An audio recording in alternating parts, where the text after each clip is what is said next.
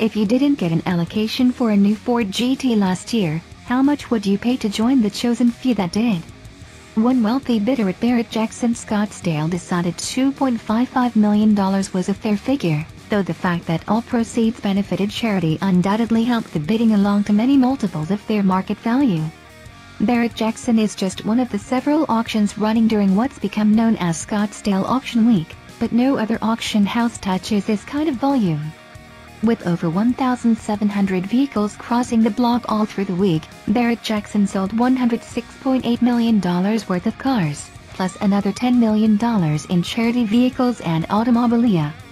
The sell-through rate was an exceptionally strong 99.1%, largely due to the high volume of cars being offered without reserve.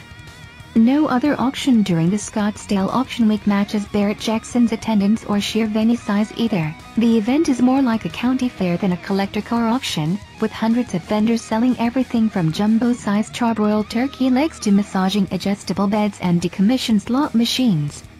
Atop the non-charity lots this year was a 2015 Porsche 918 Spyder, which found a new home with a $1,430,000 bid.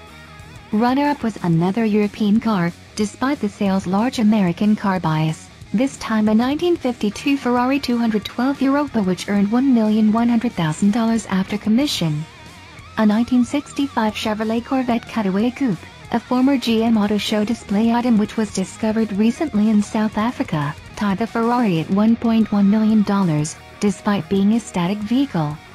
One of our favorites to be sold was the very first 1966 Shelby GT350 prototype, complete with blue vinyl roof, it made $605,000.